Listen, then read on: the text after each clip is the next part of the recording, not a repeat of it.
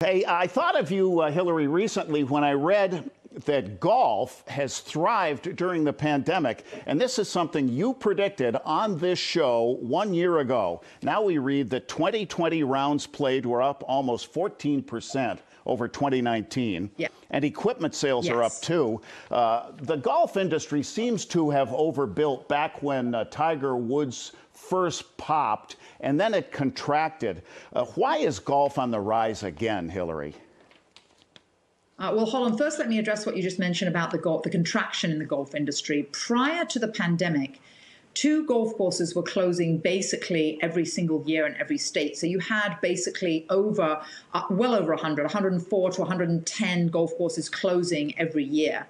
Um, however, the pandemic literally, of course, uh, it's because it's an outdoor sport. As you mentioned earlier, why RVs and boats are being sold well, it's because they're viewed as being safe in our new era of pathogens.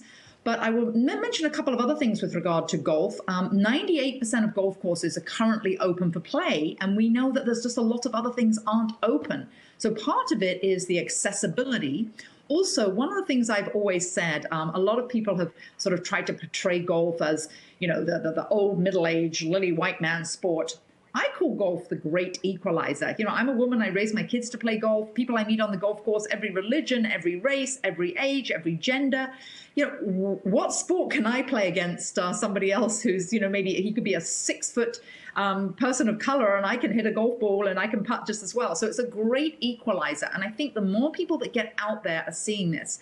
Uh, in 2019, 441 million rounds of golf were played.